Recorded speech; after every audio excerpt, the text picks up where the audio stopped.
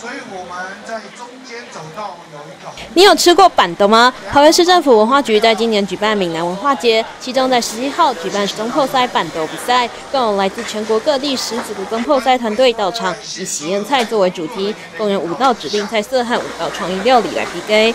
因为别个人在讲吼，这个世界加套套吼，要是这个阿母煮的猪味上好哦，就是表示咱这个正干高渣米吼。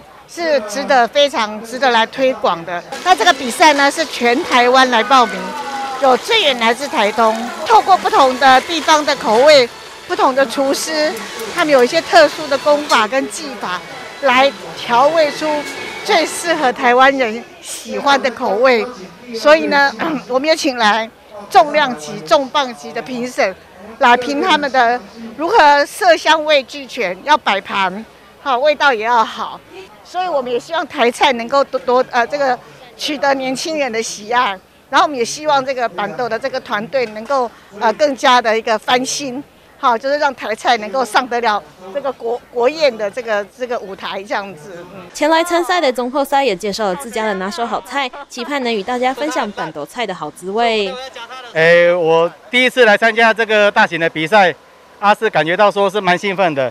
啊，我所带来的是高雄。哦，美浓传统的客家口味的菜肴，哦，这个都是传承一家子的菜，哦，这是我阿公，哦，流传到我爸爸，我爸爸再传给我的，啊，所以看到了这个高丽菜风，哦，也是独特手法，还有风肉，哈，也是一样，哦，啊，然后因为我们的手法比较特殊，哦，我们是经过风的方式来呈现它的味道，所以我光煮这个风肉至少要四个小时以上，好。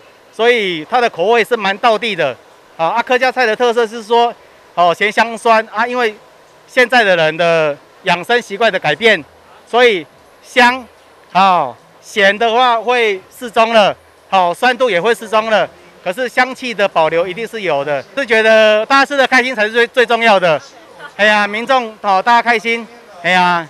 当天现场也邀请了五组婚龄不同的夫妻来到现场走红毯，体会举办板豆婚宴。当天也开放了一百桌给民众认桌，先前线上七分钟就秒杀一空。不仅有三代同堂前来吃饭，也有三五好友相揪一起来，认为十分好吃又特别。因为想要体验板德的文化，今天这样子走还蛮感动的啊！哎，十年了还可以再走回走一趟那种。红地毯还蛮特别的，然后希望以后还有机会再可以再报名参加这种活动。今天跟朋友一起来吃饭，觉得怎么样？很棒，很很幸 很幸福。呃，因为很喜欢吃这个，就是像板豆一样的菜，这样刚好我们这位有抢到，就是名额很有限的。的这个桌子这样，那今天来吃觉得怎么样？嗯，还不错。目前到上上上到这样，目前这样都还不错。对，疫情期间很少这样相聚，就是希望大家以后有这种活动都还可以一起参加。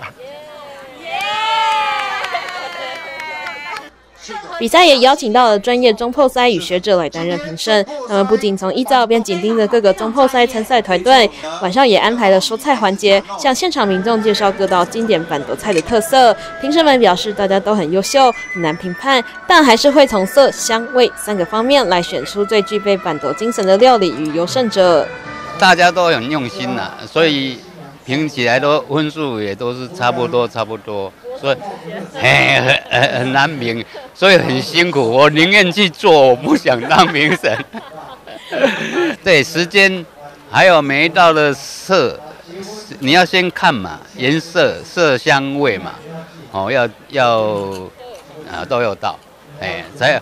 人家说有古早味，有台湾味，才有人情味嘛。所以你味道一定要到，要有半桌的味道。既然半桌，你要做出半桌的味道，哎，这样才是。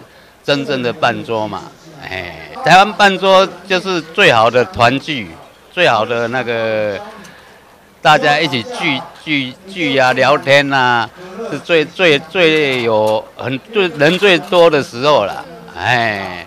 是否期盼透过活动，不仅在下一代认识板豆文化，也透过比赛将各项板豆菜色能继续被传承下去，带大家记住古早味料理和板豆的精神，发扬独特的板豆文化。记者刘雨婷，桃园报道。